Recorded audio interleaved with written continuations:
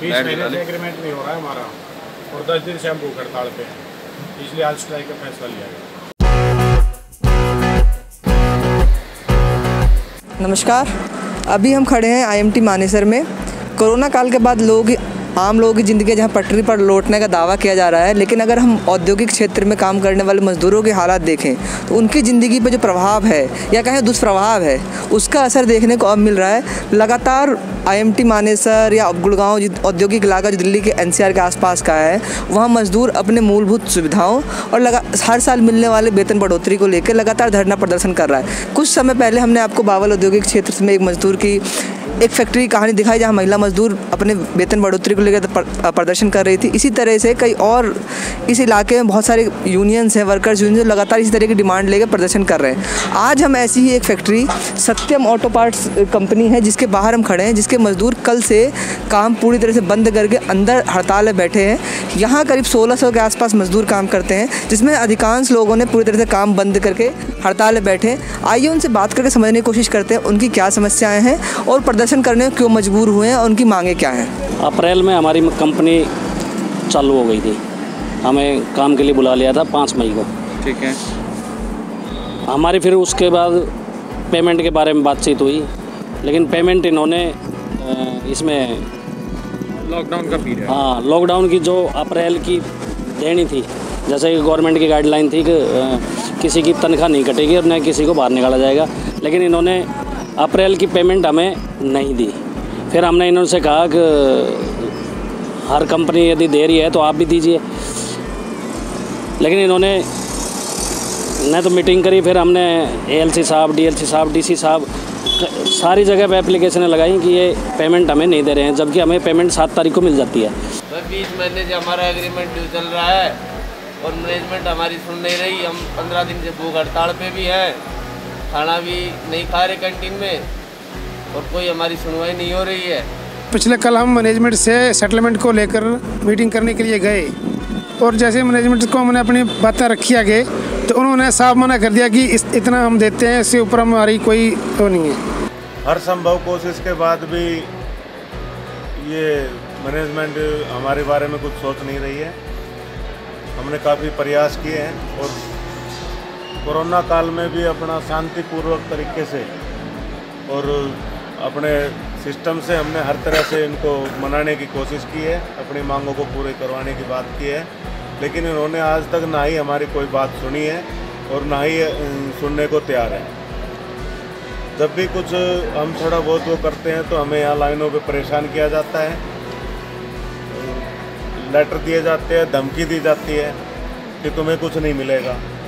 कुछ हमारे अधिकारी ऐसे भी हैं जिन्होंने जानबूझ कर जानबूझकर ज़बरदस्ती से इस काम को रोका हुआ है। सामूहिक पत्र पे मांग पत्र पे बातें नहीं की जा रही और ना ही मीटिंग अरेंज की जाती है। प्रधानों के साथ भी गलत व्यवहार किया जाता है। उनके खिलाफ झूठी कार्रवाई की धमकी दी जाती है। तो हमारी आप सभी से और प्रशासन से और सभी सामाजिक अपने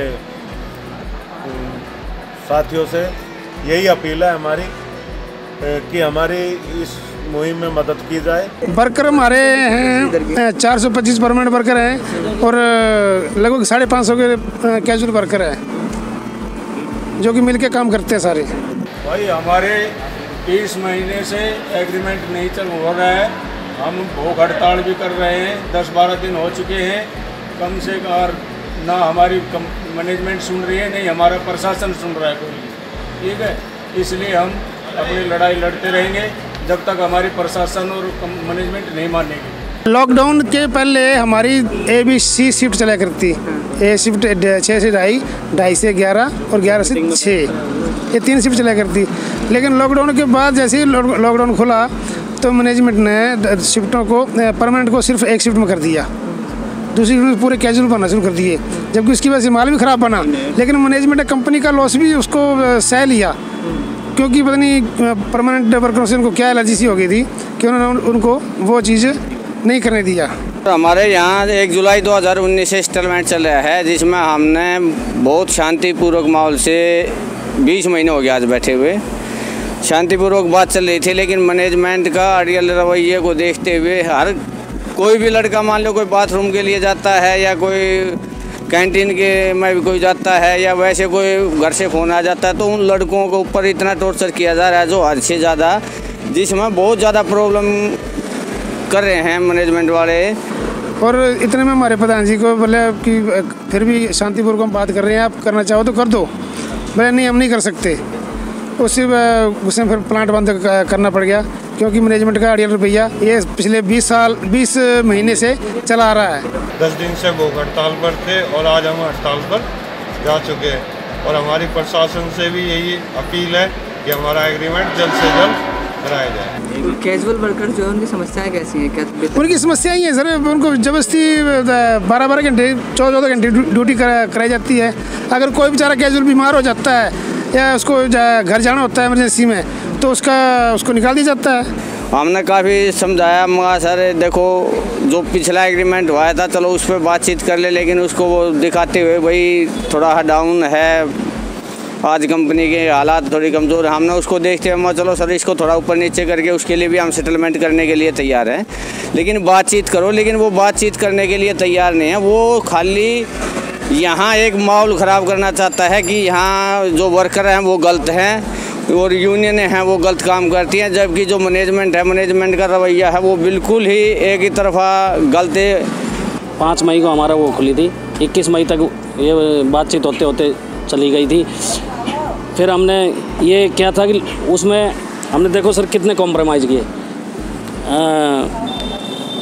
बस सुविधा इन्होंने बंद कर दी लड़के अपने साधन से वहाँ से घर से आते 200-200 किलोमीटर से बंदे आए हैं। रास्ते में पुलिस बैरिकेड्स भी लगे हुए थे, उनसे किसी तरीके से बच के, कैसे भी बातचीत करके जब यहाँ पे पहुँचे। लेकिन जैसे ही परमानेंट बंदा यहाँ आता, कैजुअल को तो रख लेते और परमानेंट को आने के बावजूद, जब इनके बुलाने के बावजूद वो आता और फिर उसको वापस कर देते। अंदर हमारे साढ़े चार सौ पच्चीस, छब्बीस आदमी तो परमानेंट हैं और छः सौ के आसपास हैं कैजुअल जो वो क्यों बैठे, वो इसलिए बैठे कि उनका जो ओवर टाइम था, वो ना डबल दिया जा रहा है और जो सरकार छुट्टी देती है ना, वो छुट्टी पूरी दी जा रही है। उनका गेट पास मिला करता वो गेट पास नहीं दिया जा रहा है और 12 घंटे की ज़बरदस्ती उनको जब ड्यूटी करवाई जा रही है और एक अटेंडेंस बोनस का पैसा मिला करता उनको महीने में, अगर कोई छुट्टी नहीं होती है तो वो सात सौ रुपये मिला करता वो पैसा भी उनको रोक लिया गया है। और ज़बरदस्ती मनसा ही प्रोडक्शन करवा रहे हैं, बारह घंटे की ज़बरदस्ती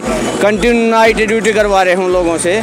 और जगह तो लगभग बहुत सी जगह फुल पेमेंट दी गई। लेकिन हमने, क्योंकि कठिन दौर था, उसको देखते हुए 25 परसेंट सैलरी अपनी कटवाई।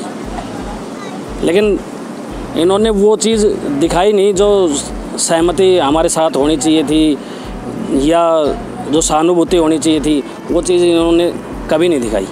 लगभग बीस महीने बीत चुके हैं और इन्हीं मैनेजमेंट के कड़े रवैये रवैये के कारण हम पिछले दस दिन से भूख हड़ताल कर भी हैं, लेकिन मैनेजमेंट बिल्कुल भी अपने पे- पे अड़ीगा, तस से मत नहीं हो रही है। उसी का रोज़ प्रकट करते हुए आज हमारे यूनियन बॉडी के प्रतिनिधियों ने जो फैसला लिया, उनके समर्थन में हम भी आज यहाँ धरने पर बैठे हैं। और जब तक ये फैसला नहीं होगा या उसके लिए हमें कितना, ये समय लग जाए, हम यहाँ से उठने वाले नहीं हैं। और जब तक कोई समाधान नहीं होता, यहीं रहेंगे, कहाँ जाएँगे? बीस महीने से पब्लिक परेशान है यहाँ पे। मैनेजमेंट बिल्कुल सुन के राज़ी नहीं है, यहाँ हमें टॉर्चर करा जा रहा है। पंद्रह दिन से भूख हड़ताल कर रहे हैं। किसी प्रकार कोई सुनवाई नहीं है। प्रशासन और L I D L C कोई भी इसका समझौता नहीं कर पा रहे हैं। ना हमारी मैनेजमेंट पूरी हैवी हो रही है। जिसके कारण हमें ये बड़ा कदम उठाना पड़ा। देखो जी, हम तो अंदर शांतिपूर्वक बैठे हैं और जब तक बैठे रहेंगे, जब तक हमारा समाधान कोई नहीं हो जाता है।